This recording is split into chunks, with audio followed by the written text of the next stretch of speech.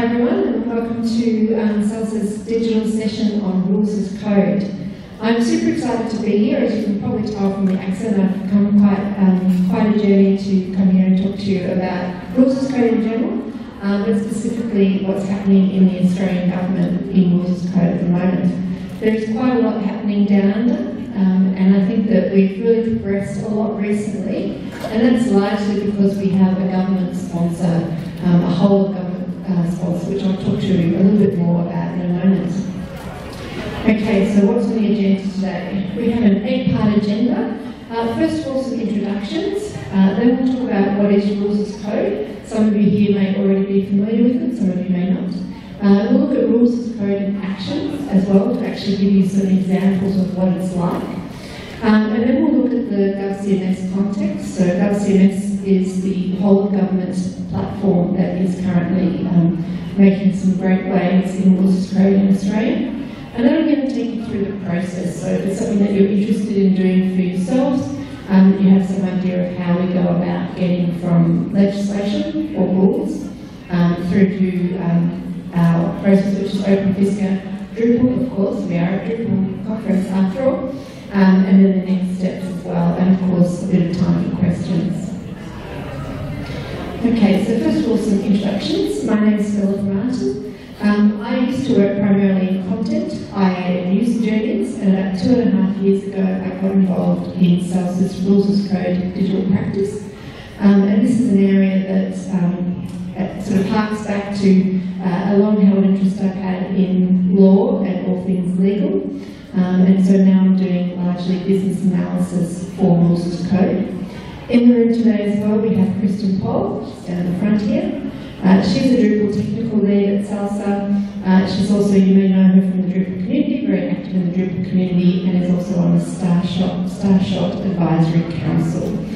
So normally, Kristen's actually not in our Drupal rules code team, but she's kindly uh, helped me out today with any technical questions that we might have uh, at the end.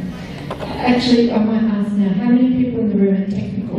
Who's a dev type person? Oh, quite a lot, okay. Right, you can ask her those questions later on. Okay, so I'd also like to give you a bit of an introduction to GovCMS. Uh, GovCMS is a whole of government Drupal content management system and web hosting platform. It's pretty cool because what they did was, I think it was about eight years ago now, they were looking at the fact that there were so many different government websites on different platforms using different content management systems um, and all of that duplication. And so they decided it would be great to consolidate and build one platform, make it so um, good that everyone would come to them. So now they have over 400 websites on the GovCMS platform um, and they're able to offer the SaaS um, and the PaaS, so service um, as a service offering and platform as a service offering. Obviously it's Drupal based, that's why we're here today. A little bit of an introduction to SALSA. SALSA Digital is a digital innovation agency. Uh, we definitely have a background, a strong core is Drupal. Uh, so we've been doing Drupal web development for I think it's 20 years now roughly. Um, and we're also active in some of the largest programs in Australia, government programs. So for example, we work with GovCMS um, offering that platform, and we also work with the state of Victoria and the state of Western Australia as well. Okay, so now on to the start of the fun stuff. What is rules as code? So at its most basic, basic definition, rules as code is about taking legislations, legislation, rules and policies, or any kind of regulation, turning it into machine readable code and then we get an output of rules as code API um, and of course the user experience. In terms of our software stack that we use, we use an open source software called OpenFISCA. OpenFISCA was developed in 2011 by the French government to actually codify their social security benefits. Um, so it's, and I'll talk to you a little bit more about OpenFISCA later on, but it is a Python-based rules engine and it's open source. We pair that with Drupal, probably partly because we've always been a Drupal agency, and so that was instinctual for us to look at how we could um, work with those together. Uh, and to do that, we built a OpenFISCA Drupal module. In terms of the high-level architecture, architecture, you can see, and also the flow of, of how it works. You can see we have on the bottom right there, we have the legislation. That then gets codified using OpenFisca. It then has relationships with Drupal or GovCMS. It can be straight Drupal, of course, or the GovCMS Drupal distribution. You get the inputs from the different sorts of user experiences. It can be websites, which is what we're using at the moment, but obviously um, there's an, uh, an option there to go into mobile apps, voice devices, etc. And then the outputs come back. Um, once the user has put in some inputs, then they get outputs back from Drupal and OpenFisca, and the person's given their results. One of the most powerful things about rules as code in terms of its potential is for rules syndication. So you could have one rules engine that's serving multiple websites, multiple interfaces, and they don't all necessarily have to be government. So you could have a government department that is the rules keeper, but yet there might be other websites that pull on those um, rules information using the OpenFisca API. So for example, you might have um, some border force type information that is um, held by the government, and then you might have an airline website or a holiday website like United Airlines who pulls that information and displays it on their website. In terms of some of the other benefits and why Rules Code is so powerful for government agencies and for others, um, it reduces ambigu ambiguity. You have a clear and certain citizen experience. It's more accessible. So instead of people having to read through legislation or summarised more plain English version of legislation, they can actually interact with it without the legal jargon. It's also reusable, as I mentioned before, with the rule syndication. Uh, it's easier to manage, so once coded rules are easier to manage and change. Uh, it also helps with transparency, and I'm going to talk a little bit more about that later on. And one of the things that I think is really powerful about rules as code is that you can actually use it to inform policy. So you can do policy modelling, to see how changes to policy might affect the government, affect people, etc. It's also recognised globally. So the Organisation for Economic Cooperation and Development in 2020 released a report called Cracking the Code, Rulemaking for Humans and Machines. In that report, OECD said, by creating a machine consumable version of government rules alongside the existing natural language form, governments may be able to drive better policy outcomes, increase efficiencies, and open up new avenues for innovation. It also listed six principles for a successful rules code approach, being transparency, traceability, accountability, appropriateness and appealability, availability and interoperability, and security. A follow-up report in 2023 about global trends in government innovation identified rules code in terms of its transformative power um, and specifically its ability for, to make government more transparent. Now, this next slide is going to blow your mind. There's also recently been a cost-benefit analysis. When I say report that was uh, took a little bit of time, obviously, to do, uh, but it was publicised in a publication in Australia uh, in late 2023 by an Australian man called Tim de Sousa. And he found that for every dollar invested in rules code, it gives back a $2.61 benefit. And rules code can be quite time consuming in the front end to actually like front loading it, not the front end is in development, but front loading it because you know to get all of those rules, the existing legislation that we have, with all of the amendments that have happened over the course of you know in some cases a 100 years, um, obviously it can take a bit of time, but even with that, you still get this really strong um, return. Okay, so seeing is believing. Let's show you some um, examples of rules code in action. First of all, who's using rules as code at the moment? This isn't an extensive list, but it just gives you a bit of a taste. So here in the US, we have Benefits Launch Express. Anyone heard of this application? I Nope, something for you to Google later. Uh, we also have Policy Engine. I'm going to give you a bit of a demo on Policy Engine later on. It's based in the US, but they also have a UK website and are also um, starting off in Canada. Moving to Europe, we have Belgium's Aviation portal, which is used for pre-screening and lodging for aircraft license application. In France, we have Mes Aides, which is the benefits qualification. So that's the one that I mentioned earlier. OpenFisca was originally built for to do the social security benefits in France. Uh, then in Australia, we have AUSTRAC and obviously the Australian government GovCMS initiatives that I'm going to talk to you about in a little bit. Uh, in New Zealand, we have Smart Start and another example called Benefit Me, which I will take you through now. So two examples I'm going to look at today, uh, Benefit Me and Policy Engine. So I've actually recorded the little screen grab, so I'll show you that in a moment. But Benefit Me is uh, codifies New Zealand social security benefits. It's an alpha release, so it doesn't have all the benefits, it's only got four. Uh, but there are other people who are working on that at the moment. Uh, it was originally a project that uh, Digital was involved in, and when I first got involved in Rules as Code as well.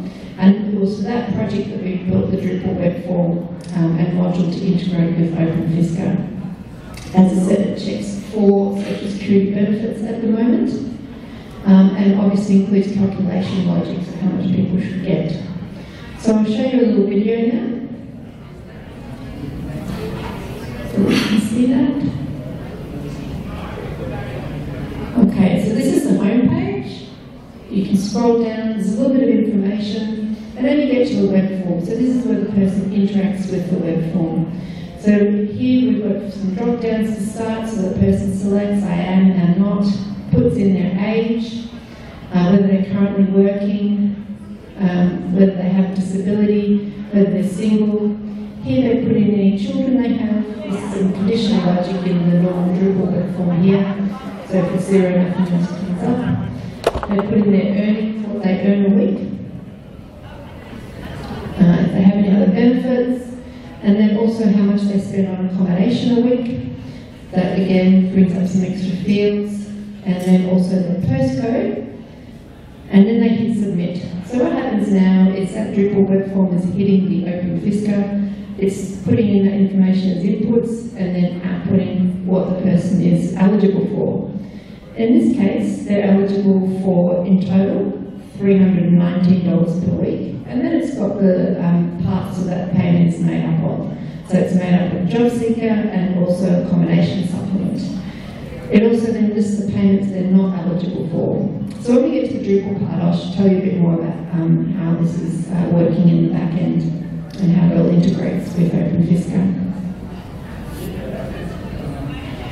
Now for the policy engine demonstration, policy engine calculates benefits and taxes, but it also does policy modelling via micro simulations.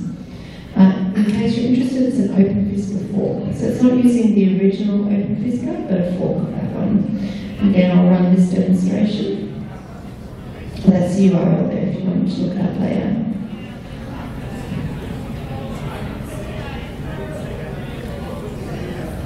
That video is just loading. Okay, so we've got the compute taxes, but we're going to go straight to the compute policy reform impacts. Then we have a whole list of departments where the legislation resides. In this case, this example, I'm doing an um, IRS example, and we're going to change the income tax for a particular tax bracket. So you can see we go down to income, click on income there, the bracket, and then we're going to change the tax rate of bracket 2. So at the moment that's sitting at 12%, change it to 10%, hit return, you on the left-hand side, you can click on the calculate economic impact and have a look at what changes that will be. So you, first of all, you're presented with an overview. So that to remove, we'll see the results. So we've got the overview there that it's going to cost 79.3 billion. It's going to lower poverty by 0.2% and raise net income for 71.5% of people. Then you can drill down to additional information about the budgetary impact. You can see it's got graphs as well. Um, you might want to look at the winners and losers and by income uh, decile and have a look there. You can see again some more um, data visualization so you can see what the impact is. You can also go even deeper and look at specific things like the impact by age, race, gender, etc. And again, we get the data visualizations there. Another tool that it has is the ability to create an AI summary. So I used to use Chatbot, but I noticed when I was doing this new recording that they're now using a different, um, using Claude 3.5 Sonnet. And I didn't click on this for this demonstration, but if you do, it actually gives you a report, something that you could submit to perhaps a minister or someone else, um, a, a, government official to show them the effects. And you can also see the Python uh, code as well. So very handy tool. So yeah, I definitely encourage you to check out Policy Engine. Uh, it definitely sort of shows um, one of the really fantastic use cases for rules as code. Now I want to talk about uh, what the Australian government is doing. All right, so I also mentioned that GovCMS, whole of government digital platform, consolidating a whole heap of different CMSs and websites onto the one platform using a Drupal distribution. Uh, but in late 2022, GovCMS decided that they wanted to improve the platform through providing personalised digital experiences. One of the examples, they had a few different sort of user stories or use cases and one of them looked at a citizen who was trying to find out if they were eligible for a benefit. So, although rules of code is not traditionally associated with personalisation, obviously in terms of that use case, it was a perfect fit. For us, um, Salsa Digital 2, we had just done the benefit we were still actually doing it, um, and we knew straight away that it was a great fit. So we then pitched rules as code um, to GovCMS to see if they'd be interested in exploring that as a personalisation option. They decided they did want to see what it could do and commissioned a proof of concept. Now we had a few different um, potential topics we could do. I'm sure everyone's recognising that uh, lovely image on the board there.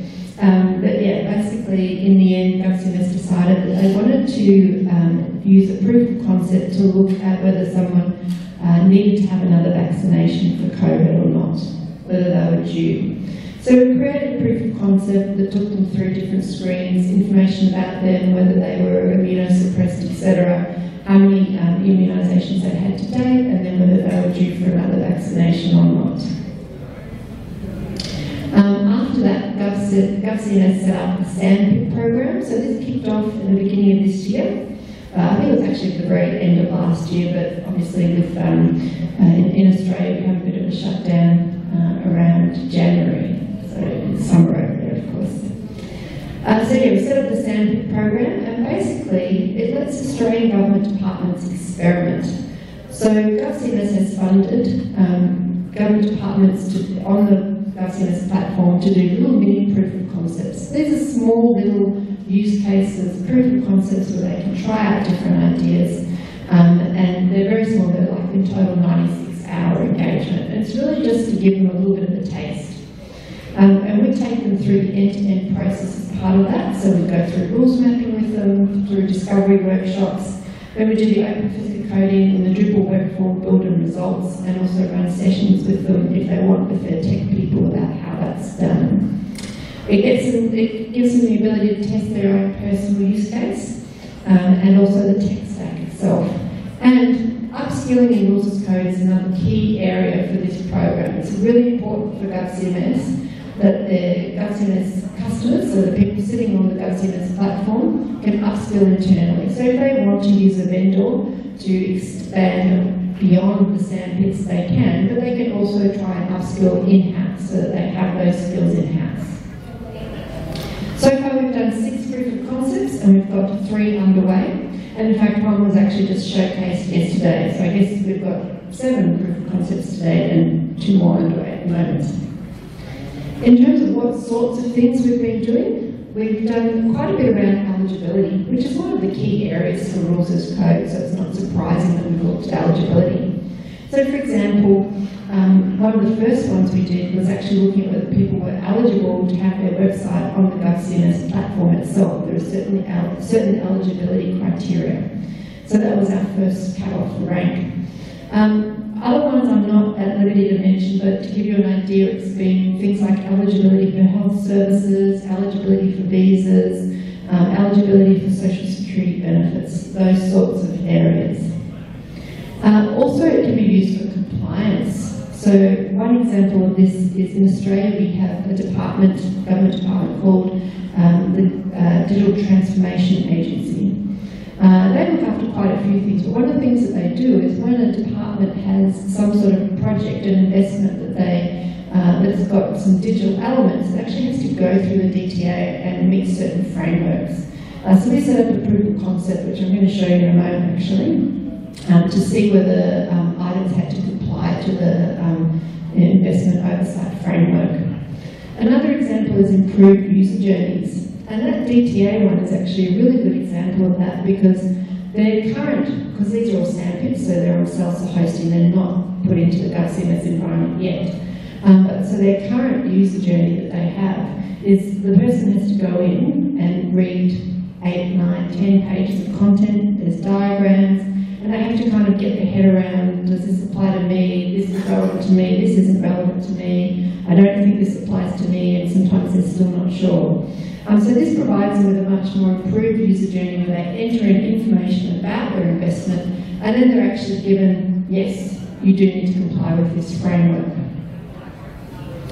Policy twins is also um, another key area. So obviously that example I showed you before of policy engine, that is a type of policy twin where you have a twin of the legislation, like a digital twin but a policy twin, uh, and then you're able to actually model what changes will happen into the legislation. So you can create a policy twin based on existing legislation, do modelling and a whole heap of other stuff with that policy twin. So as I said, I'm going to take you through two sample examples today. One is the Digital Transformation Agency, and one is a calculation severance benefit. So again, just to make sure we didn't have any issues Wi-Fi, I've recorded these. Um, so these sandpits, just before I hit uh, go for this, these sandpits are all um, spun up sort of automatically, and we have some common areas in them all, so they all look very similar because they are just proof of concepts. Okay. So this is the um, DTA one. Just loading here. Okay, so from the home page, um, as I said, you can click on, um, go straight there. Or these are the sorts of areas we've got about Open FISCA, rules code in action, about GovCMS rules, as code sandpits. And the rules code action has got a whole, rules code in action has got a whole um, heap of different links. So this is made for, just imagine you've been working on a proof of concept, you've got a very specific audience, but then you want to go back, they want to show it to their higher ups to tell, to show them what it's all about, and that just helps and provides some contextual information. Here we have a bit of an introduction, then they go into starting the web form. So my investment proposal, is or is not a new policy proposal? Um, is it digital or ICT enabled? You can also change these and then it provide, provides a submit button and tells you that you're not, you don't need to comply. So in this case, if we say the investment proposal is not a digital one, then it's the investment oversight framework does not apply. We also provide them with their selection so they can make sure they've inputted everything correctly. But let's just say it is a digital ICT enabled one, so they continue working through the form. They're a non-corporate entity. Um, the project is not classified top secret, and the proposal is a large one with more than $30 million. So then they hit submit, and they're told, uh, again, that's calling out to the Open FISCA API, and then that's sending the um, results back to, um, to Drupal and then told that the investment proposal does need to be assessed by the investment oversight framework and it also needs to be assessed under the ICT approval process. These rule statements are something that we're providing in every sandpit. It just helps with this transparency. So you can see here that it's actually saying what the rules are, so they can access that information as well as the interactive web form.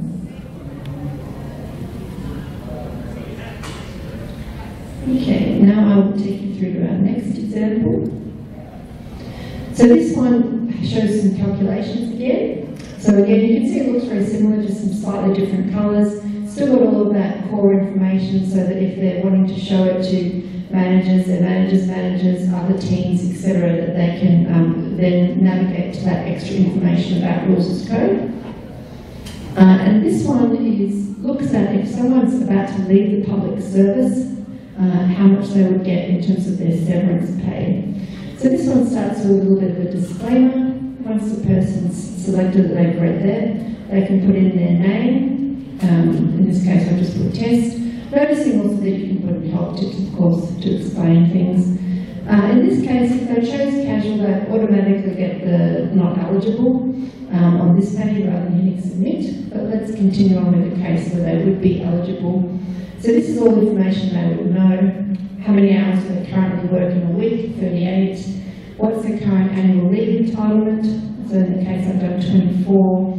Um, are you receiving a parliamentary staff allowance? Uh, are you leaving because your employer will cease to hold office? And then how many days, how many years of active service you've got? From there, it calculates how much you should get if you left.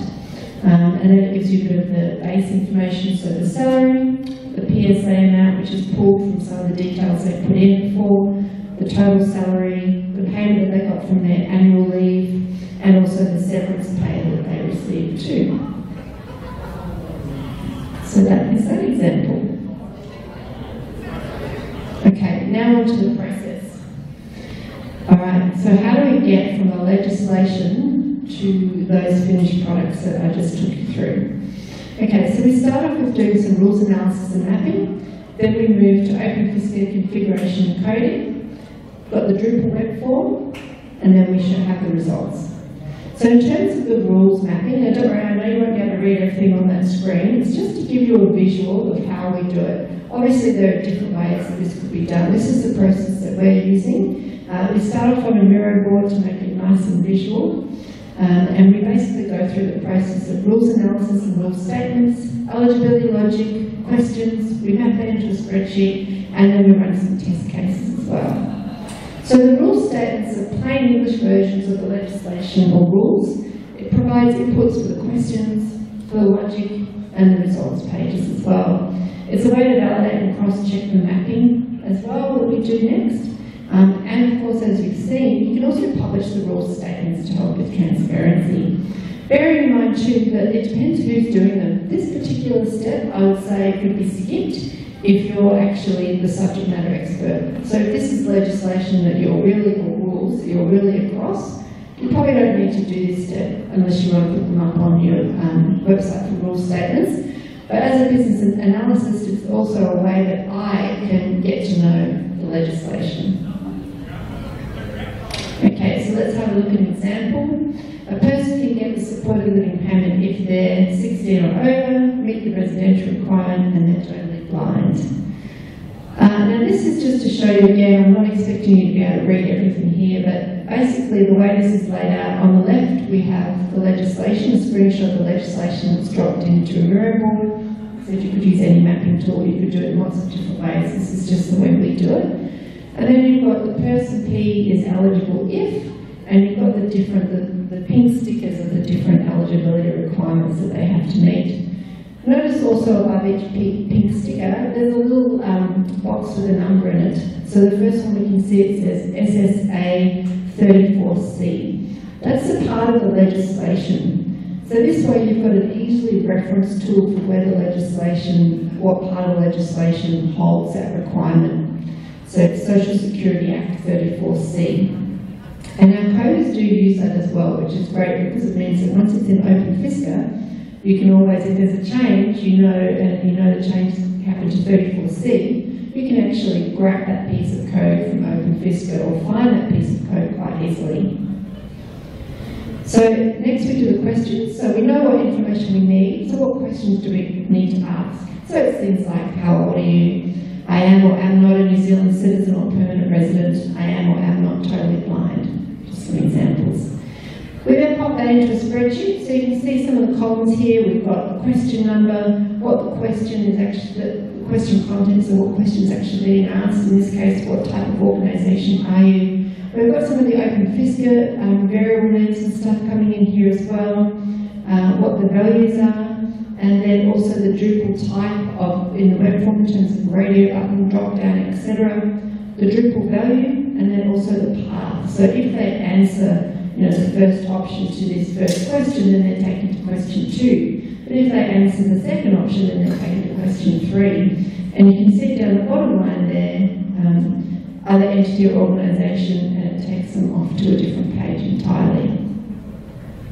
We also put into the spreadsheet um, test cases. So these test cases are used to the developers when they're coding in OpenFISCA, and they're also used by our QA team to actually check that everything is as expected. So you can see here in this one, organisation type equals Australian Government Department or entity, um, and that it's listed on the PGPA flip chart, which is a very jargony Australian government thing. Um, and then that would return the output, and that should be eligible equals true. And then we've just got some other examples there. So, I know said you're developers in this room, so you may be wondering why OpenFISCA and not Drupal. Well, it's true we could have done a lot of this in Drupal, but Drupal is not made for this. Drupal is made for content and content modeling. OpenFISCA is made for rules. So it's been set up specifically to create rules, eligibility logic, and calculations. Okay, now we're getting into the technical part. First part of that is OpenFISCA, and then we move to Drupal. So in terms of the open OpenFISCA, I mentioned earlier that we um, begin with test scenarios because it's a test-driven development style. So this one here is the test scenario for sole parent support entitled. So you can see you've got the name, the period, the absolute error margin, the inputs, and then the output. Now, one of the things with Open OpenFISCA is that it also has this concept of entities. As you can imagine, for social security benefits, that's really important because um, you have often lots of different entities. You have a person, yes, but then you may also have a household, you have children, etc. Um, so the first thing you do is to set up your entities, so each person and family. This one on screen, which you definitely can't read because it's too small, is the entity for family. Next, we create the parameters. So, for example, sole parent support and the age threshold. And we include variable attributes being description, reference, and values. Next, we create the variables. So here are some um, input variables. So sole parent support, spouse or partner died, sole parent support, marriage or civil union dissolved, etc. And the variable attributes. So there's uh, they're there uh, on the screen, value type, entity, definition period, label, and reference. Now we also have to create the output variables. So that just showed you the input variables. These are the output variables. So in this case, sole parent support entitled. Some of the attributes for these ones, again, value type, entity, definition period, label, and reference. And then we have a formula as well to calculate the rules. Noting here too that this can be changed, we can include dates in here, which makes it really, really handy because if you know you've got a legislation change or even a value change, so say, you know, you've got a CPI indexing thing that's about to um, happen and so you're able to program that in. It also keeps a historical record of all the past versions of the law. Now onto the Drupal part. Okay, so basically the aim of using Drupal was to be able to make the editor experience as painless as possible. So we've got two main areas that we're using Drupal. One is for web forms, and you can either do a single web form or a series of web forms. So when it's a single web form, that was the examples I showed you, but you can also do a series. I mentioned with the COVID example, we sort of talked about you, so that was one web form, about your health, that was one web form, and then about your um, vaccination history was another web form, but it looked like it was just part of one user journey. Uh, the Drupal module allows us to map the web form fields with the corresponding fields, fields in the OpenFISCA API. And then we also use nodes um, to add the rules for branching. So for each web form, we define where the user needs to be redirected based on a response from the OpenFISCA API.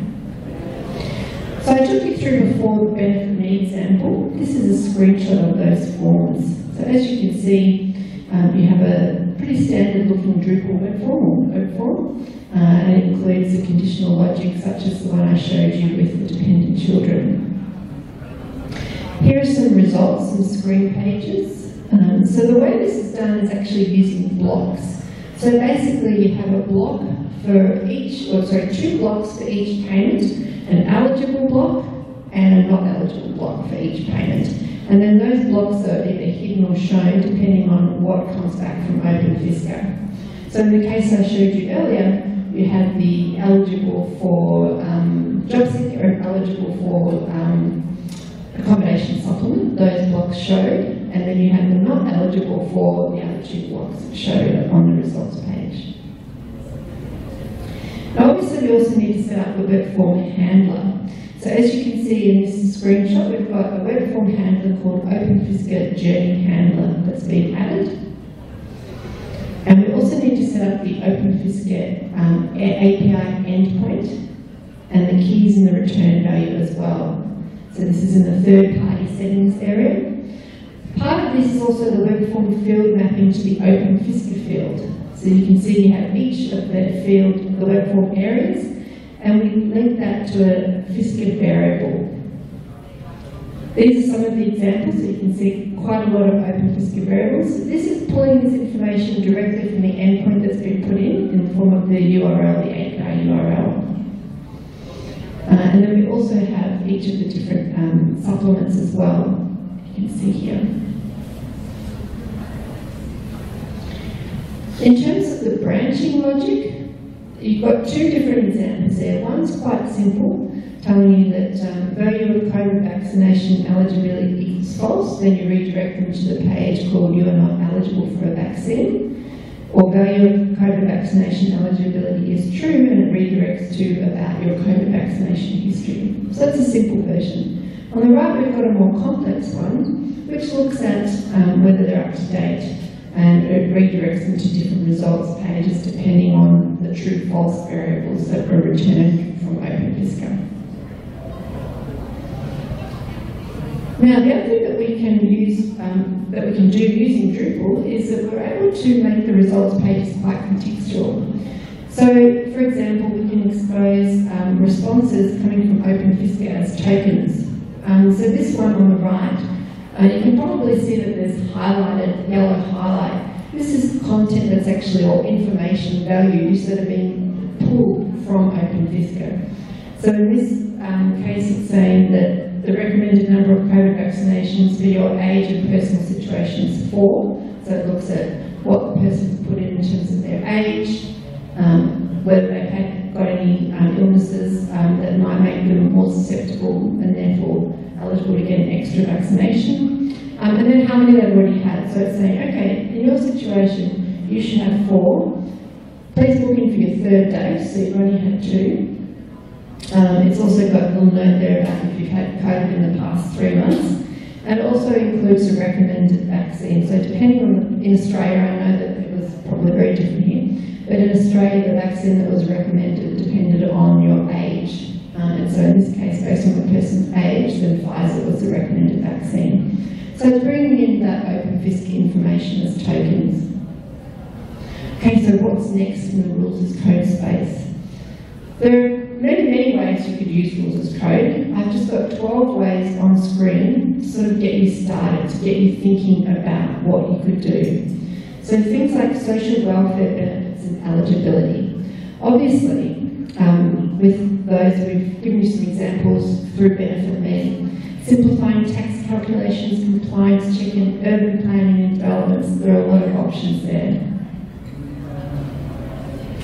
Future gazing, obviously policy twins during policy development. So I've talked about creating policy twins of existing legislation, but imagine if you did it while you're developing the policy. You could simulate changes to that policy that hasn't even been released yet see the impact it's going to have, and then, you know, we talk about agile in, in web development, well then in policy development you could be very agile because you'd be able to change what you're deciding to do based on this um, policy modelling. Obviously, you know, AI for everything, but certainly AI has got, um, or could have a role to play within rules as code, such as getting the eligibility logic from legislation. At the moment, it's a manual process.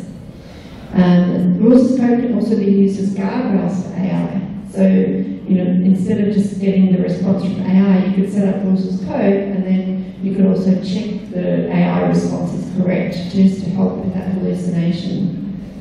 Um, obviously, at some future point, it would be great to have a fully digital legislation and regulation system for government. For GovCMS, so for the Australian government at the moment, they're currently doing the productionising work. So we've, although there's still sandpits happening, and as I said, that's that's on a separate instance self-hosting, They're now um, working, doing the first steps, the first discovery sessions for putting that on into the production, bringing into the whole government GovCMS platform. And the, the ideal is to have uh, rules of code as a reusable shared utility on GovCMS. Now, if you're interested in Rules Code, you can join the Rules Code Guild, which is a community space with resources uh, and membership and also a Slack community. Uh, the resources in particular, if you're wanting to see some more examples, it's got a lot of links in there. People doing presentations, probably like this one, in there as well, so you can actually find out a bit more about Rules Code.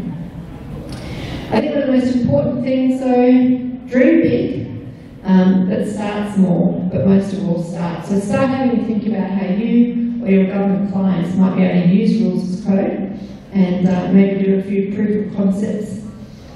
Uh, I am going to do Q&As, but I wanted to first give a shout out um, to, of course, the uh, Drupal GovCon sponsors. Thank you to everybody who is sponsoring this fantastic event. Um, and I'm also going to open the Q&A now, can also scan the QR code up there um, if you're wanting to look at uh, rules of code in general and proof of concepts. So opening up for questions. Yes? Do you have to maintain the rules in like separate repository compared to Drupal code? So the question was, do you have to maintain the rules in a separate repository to Drupal code? Yes, you do. So the rules are in the Open Fisca repository, and the Drupal is a separate instance. Any other questions? We have one tech question that I could answer. You've got to do one that, she has to answer. Come on. Actually, a question for them. Anyone here heard of? This before? Oh, This is new stuff. Interesting. Yes. All right. Do you feel like you have a better understanding now of what it is? And have you got, is your mind ticking about ideas of what you could do for your own agency or for your government? Or we've got some questions there. Uh, just a comment. Yeah. I wish our IRS would actually do this instead of having private companies, because that's where I would only uh, assume that I've seen rules as code really working is in our, you know, H&R Block and TurboTax, that's I would assume they're doing it as you're just filling in these little things, and then they automatically, you know, use the database to tell you if you're, how much you're eligible for your tax break, and Yes. the IRS would do that, so we didn't have to pay private companies, so we can do doing this, so I think it's awesome. That would be good. Um, sorry, so the comment there was just that um, uh, it would be great if the IRS was doing these sorts of things rather than US citizens having to go into private companies and, and use their sort of versions of rules of code where they're entering in the information um, and getting the result of how much tax they're going to need to pay. Other question, comment? Yeah. I don't have a question, but I am here from IRS. Oh, oops, oops. Um, So in this past tax season, in certain states, um, for the first time, there was a direct file option, and it was actually really successful. And I'm not on that project, but it is going to start opening up to more and more states, and actually all the states, and companies like TurboTax and H&R are actually really scared of the business it's going to take away.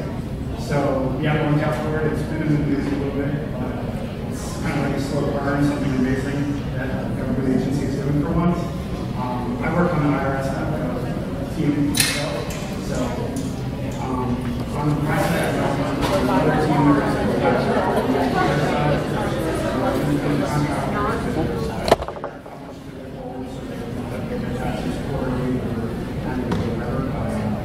we have to look out for it. Um, something like this where there is rules in place where there, there's a free uh, on-to application to file your tax. I'll just give a quick summary for the recording. So we um, happen to have an IRS representative here who mentioned that there um, has been some states where they were able to um, self-file. I should also say that the um, Australian Taxation um, Board does do that, so we all have the equivalent to the IRS. Um, so we do have uh, people who self-file. Some people still go through their accountants, so you know they have to be a bit scared, but not too scared, I guess. There was a question at the back. Will there be any uh, security concerns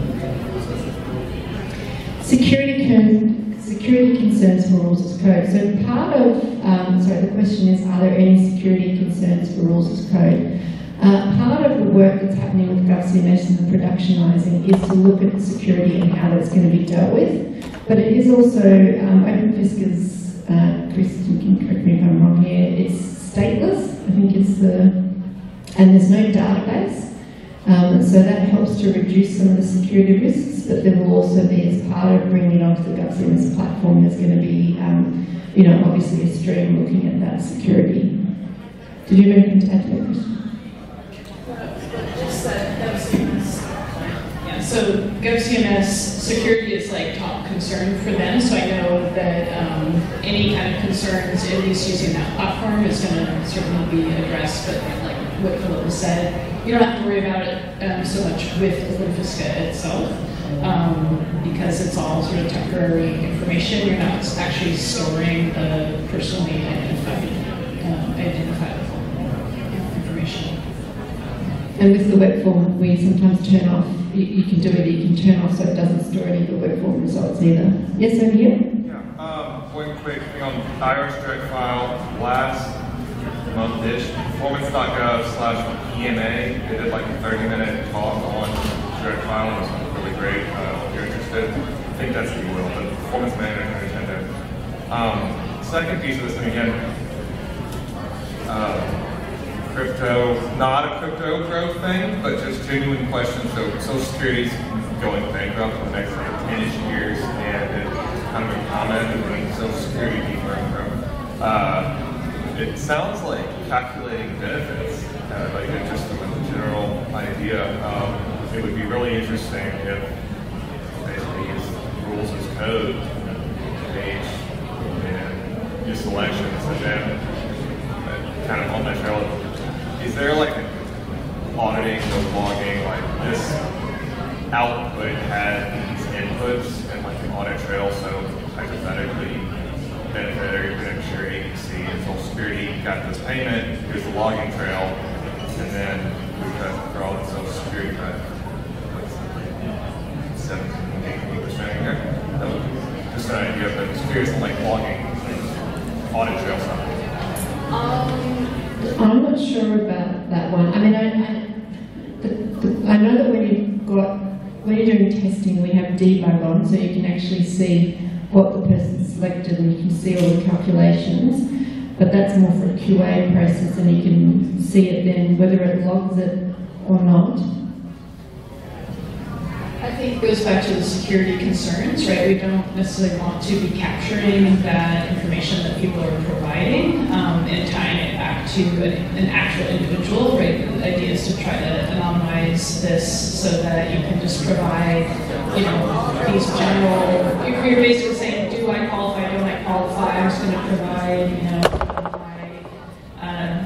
anonymized information and be able to get that. It's, it's different than if you were to log into a system, um, you know, like Social Security, right? You log in and you can see, you can check and see what your um, your benefit would be, you know, supposedly, unless it goes bankrupt, uh, you know, in so many years when you retire at, you know, 62, 65, you know, 70, that sort of thing. So it's, it's not quite, um, it's really meant to, you know, that you don't have to log in and that you can get access to a lot of useful information about that. Uh, yep, another question here. Uh, Is the Drupal open Fisca module going, is it open source? Or will it be on? Yeah, uh, so I did not work on that. Uh, Suchi, who is not here, but um, did a lot of work on that. Uh, she just released it uh, just a few ago, right before this event, so that we could say yes, it's there, ready for you. Is it basically like the, the, right, you the web form Yeah, So that, there isn't a separate Drupal module that's just an open module, everything is the web form open Fisca module. uh, that's a, yeah, I think it's just a Yeah, I think it's the one module that, that handles everything. I, um, and again, this is not my area of expertise, but from my understanding, it bring part of that web form module is also um, a content type that's tied to that um, that then int- uh, interacts with OpenFisca. Question?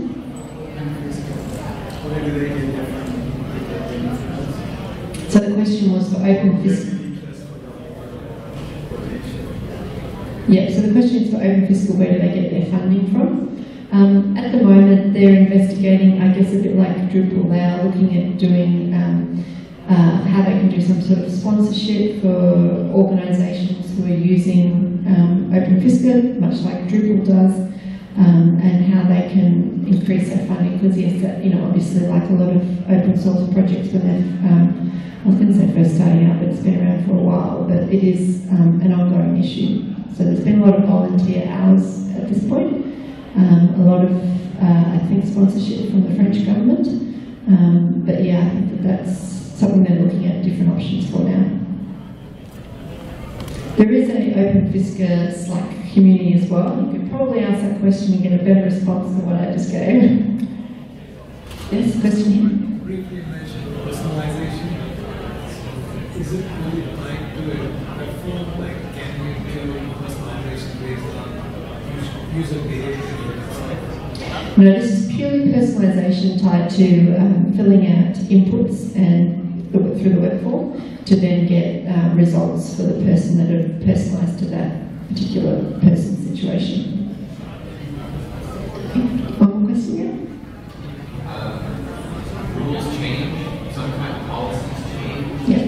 Uh, Is there a mechanism or a strategy for declaring or getting from the API saying it's based on this set of rules, based on this policy? So, you know, when you go to the form, you know that you're filling out a version of it that's tied to that policy framework. Can I talk about that transparently? Sorry, it's not your question, but context. Context. So the question is, is there a way to um, include information about which version so that if there's a more recent version, maybe the form and results haven't been updated, is there a way for that to be um, transparent? Uh, I mean, I know that it, it, it's been set up specifically to do versioning and to be able to change it. And I know that in the Open Fisca code you can see what version it is, but I don't know from the front end at this stage um, what's happening. The other thing, of course, with all of this is you have to have processes, and this is where government organisations come in, because you have to have processes where uh, something gets updated to make sure that the digital version gets updated in Open Fisca as well. So there's partly a governance thing to that element as well to make sure it is actually always up to date. Um, but I'm not sure about your question. Sorry, do you know? Mean, some of it goes back to, I mean, as far as visualization, um, for the person that's actually filling, they're not like saying, well, at the moment, I mean, I think it's something we could, um, bring in so that they could say, oh, actually, I want to see what it looked like a year ago and use that version of, of the information, but, um, that's not currently set up now. But um, I think, I don't know if you caught it, but um, Philippa was saying that you can um, say that um, something has changed with each particular rule, that, oh, this changed in this year. Like you can associate a year for each particular one. Beyond a year, I'm not, a date, yeah, but uh, are there other parameters, like other kind of versioning or just year? There is a, a way in Open Fisca, so this is definitely a question I would normally throw to an Open Fisca person, but there is a way in Open Fisca to, to um, notate the versions and the numbers, um, but I'm just not sure exactly where that is, so I might have to get your details and get back to you about that one. I'm going to call it there because we have gone over. Um, if you're wanting to get some more information, there's also some cards up here, so grab one of those. If you've got any questions, just catch me um, in the hall or Kristen. Thanks, everybody.